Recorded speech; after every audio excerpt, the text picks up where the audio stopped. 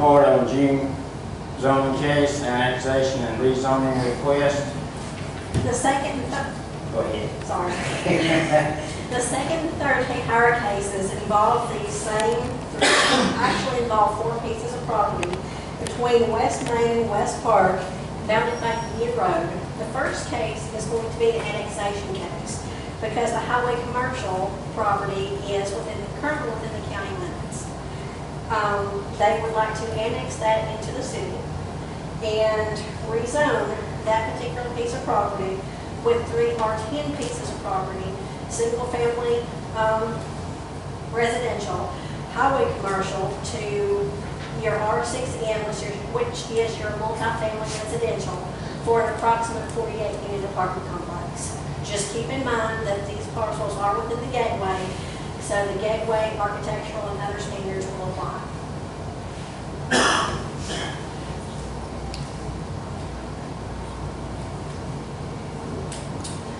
To add on uh, to what Ms. Tolley was saying, I have had a chance to speak with, uh, with Matt, our planning and zoning administrator, and he's spoken extensively with representatives from uh, Beach Street Housing, uh, and they in fact are represented here tonight, as is uh, Scott Alderman, who is the uh, realtor for the property.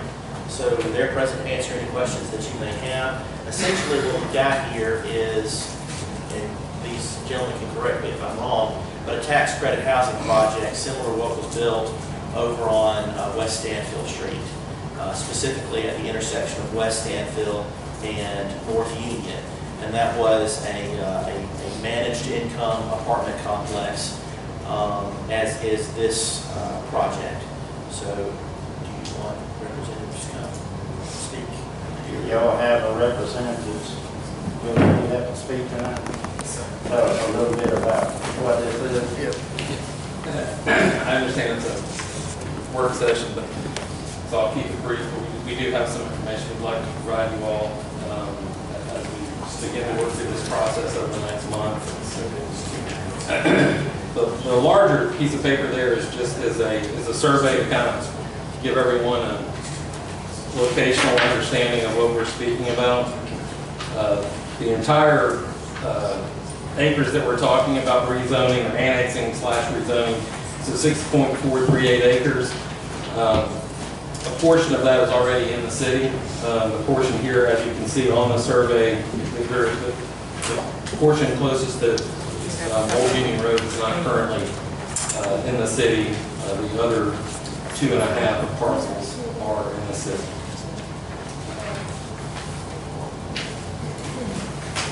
In general, our, our original uh, understanding was that we should rezone all parcels to, uh, I think it's R6M, RM6, uh, which is the multifamily ordinance. Uh, But it's my understanding there may be some concern with that because I believe that uh, mobile homes are a permitted use um, inside of the RM6 zoning. So if the council, if the mayor council would prefer, uh, we, we, we would consider just, instead of um, zoning to R6 and RM6, rezoning to RP, which does not allow for mobile homes. So in the event that uh, the city did agree to rezone the property, that mobile homes would not be an allowable use with the use zone.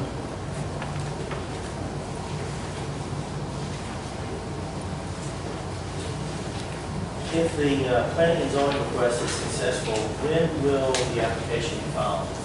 The application will be filed with the Georgia Department of Community Affairs uh, on June 11th. Uh, We would receive word back from the Georgia Department of Community Affairs whether or not our application was successful, uh, probably in October, maybe November, but but most likely October. Um, At that point, we will be looking at applying for permits uh, next May, so a year from now, and beginning construction um, probably in June. And just as a question, not to speak out of turn, this is really one for the property owner. I, I know that residential professional is a less intensive use than highway commercial. Would there be any desire on the part of the property owner to have a condition placed whereby uh, the use would revert to CH if the application was not successful? Scott? Thank you, Jonathan. I'm Scott Alderman, 4803 Springbrook Drive, Big Arrow.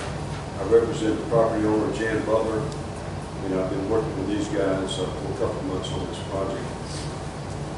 Your question refers to whether the owner would agree to have the property revert to CH if the project is not built, is that correct? Correct. Would you be asking the question presuming that that piece has been annexed into the city? Yes. If it reverts, I want to make sure I get this right, you're not talking about the annexation reverting. Correct. The reason being, RP is a less intensive use than other commercial, and I just did not know if the owner might want to retain that higher standard of uh, marketability on the property. Or else have to go back, you know, do another case Right. later on. I've not discussed that with Ms. Butler, Uh, Jonathan, I'll be glad to. Uh, Throw it out there. Yeah, I, I don't think we have any issue with that concept. Uh, I can tell you this, just for the record, we've been trying to sell that property for a number of years. The interest from the market in commercial development there has been virtually zero. It's because of the interchange development, if I might venture. Well, if I had to guess, I would say it's because there are still undeveloped commercial tracts along 122, and that's where the businesses are going to go first, before they start to spread down Union Road to this side. Okay?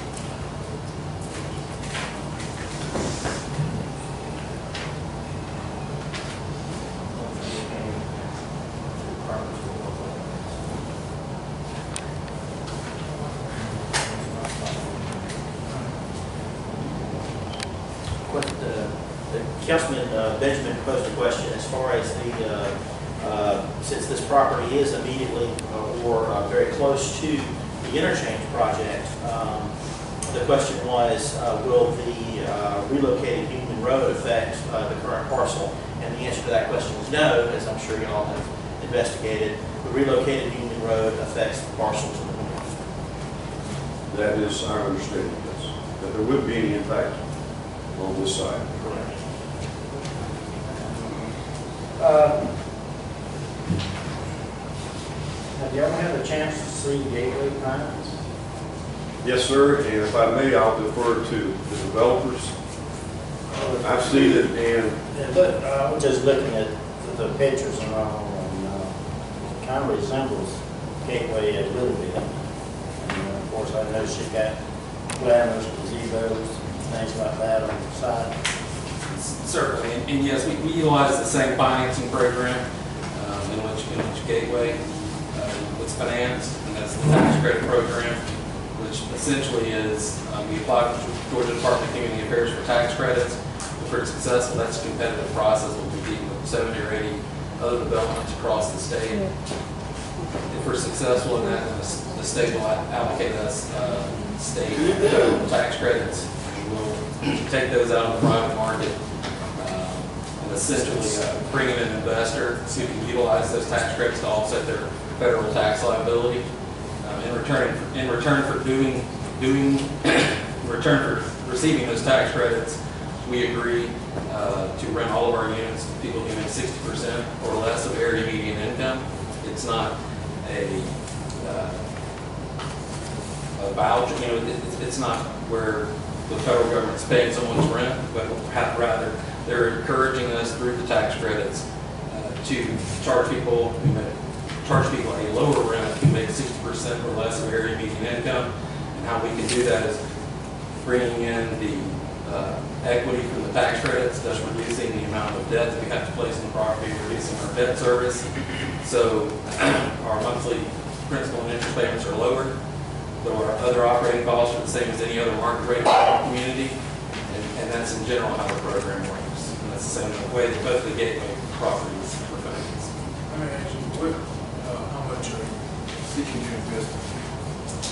Right now, if we, if we develop 48 units, um, it would be an $8 million investment.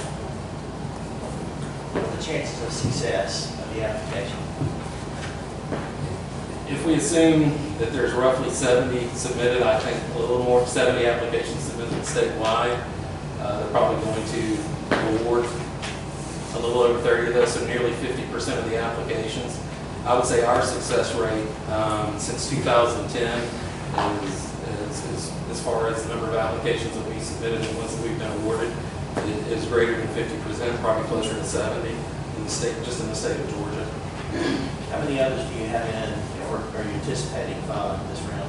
We're, we're we're anticipating filing one more. The state divides their resources uh, in the qualified allocation plan, which is how these tax allocated every year, um, in between uh, rural resources and urban resources. So the state has uh, $24 million in allocating authority, it's really 240 million, but I won't get into the semantics of it. Uh, 35% of those tax credit resources uh, automatically go into rural communities, and the remaining, remaining ones uh, can go into urban areas. We would be part of the, the rural pool going for the 35% of the resources. But in general, rural developments are smaller than, than larger 120 unit urban developments. So at the end of the day, the number of developments funded in rural and urban is about the same, but the number of units created in the urban areas is larger. Just to add uh, to what the developer has stated, um, there was a few years ago with respect to the existing uh, housing, uh, tax credit housing projects in, in the city, a policy developed uh, to require uh, a separate set of public hearings and endorsement uh, process. Um, And because the developers are not seeking the endorsement of the council through the form of a letter, that policy is um, not triggered. That was an opinion received by uh, our planning and zoning administrator because Valdosta has a similar policy. Uh, And in fact, the public hearing process and public input process is uh, with the planning and zoning process right now. So um, the property, adjacent property owners will still be notified via letter. You will have a posting on the property as well uh, over the next month. There'll be opportunities for question and answer. The planning commission will meet for a work session as well as a uh, full planning commission meeting, which will take place on the 31st for members of the public before it comes to the council on the 2nd for uh, a potential uh, up or down consideration. So uh, there'll be several opportunities for the public to to voice their concerns, uh, should they have them, and opportunities for the council to respond to those.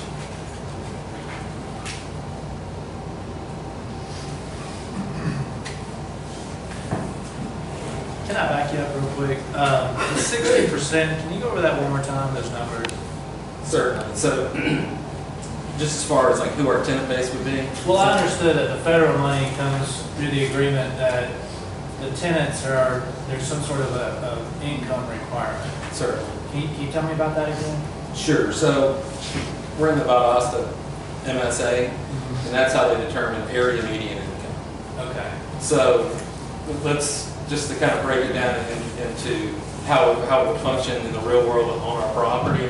um, If you were gonna live in a three-bedroom and you, there were four people in your family, you could make twenty-nine thousand two hundred and twenty dollars. So that, that, that is the, the upper level. Yeah, you could make more than that and still live there. That is correct. However, right now, we're- we're proposing 48 units. We can only increase that so much just due to density, but what we're, what we are hoping to do, we're working with a market analyst right now, if we are able to actually add some additional units above the 48, just to make those market rate units, and, you know, at that point, the market rate component wouldn't have an income limit, limitation to it. Because there, there are a lot of folks out there that are above that twenty-nine thousand dollar range that are, you know, in the same predicament that, that somebody lower than that may be as far as, um, affordability of a home. And, and that's a market that we're trying to capture as well. And your market analysts tell you that this is an area that would be successful for those numbers? Yes, yes, that's correct. I mean, um, with the success of, of Gateway and other surrounding properties in Lowndes County and, and, and areas similar to this, um, it's the same market analyst we've been using, you know, for the last six years. they haven't missed yet. We, we feel pretty comfortable with the market here in Hancock. That's an idea of the, of the monthly on these units. Monthly rent? So on our one bedrooms, I think we're uh, south of uh, 400, just south of 400. On the two bedrooms, um, about 450, and on the three bedrooms, right at 500.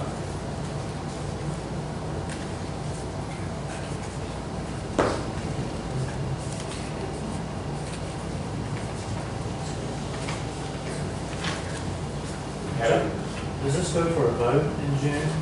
In June, yes, sir. Uh, This is for informational purposes. In the past, it's been requested uh, that more information uh, be presented uh, as, as quickly as possible so the council may have a more complete picture.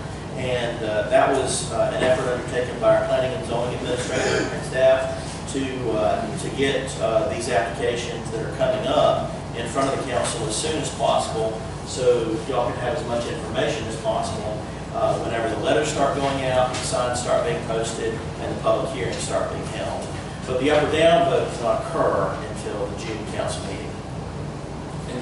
In, in general, just in the, in the brief presentation we provide here, and we can, we'll certainly provide more in the coming month.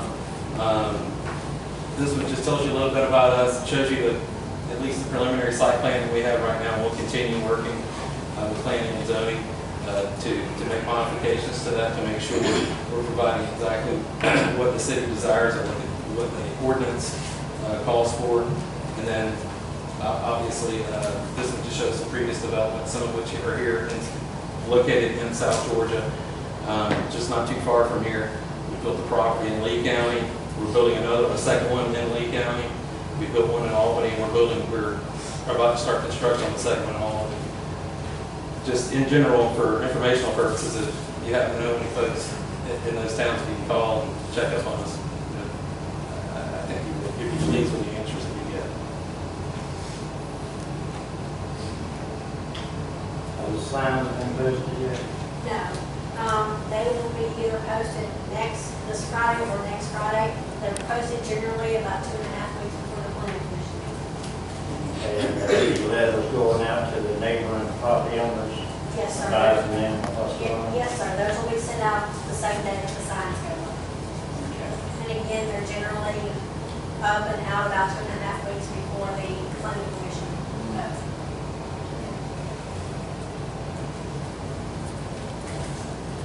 I guess in general, going back to just, perhaps I shouldn't have started with it as far as the zoning designation that we're currently going after versus going toward RP. Is there any opinion as to whether or not there's a preference from council? I prefer RP. Um, I'm not a big fan. Okay.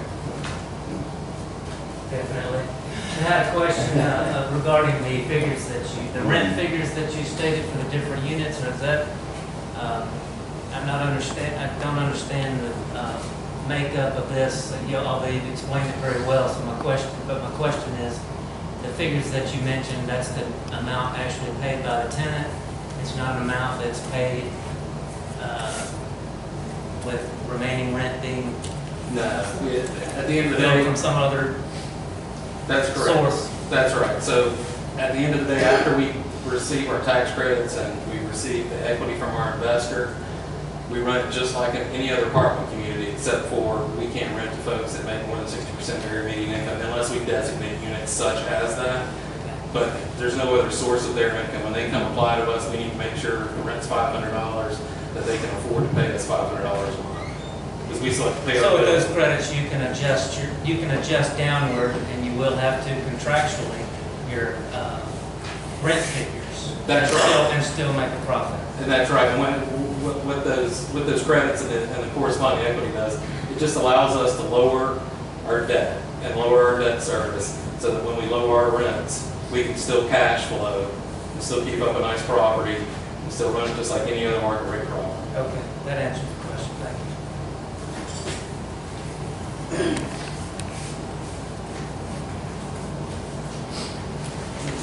Any more questions?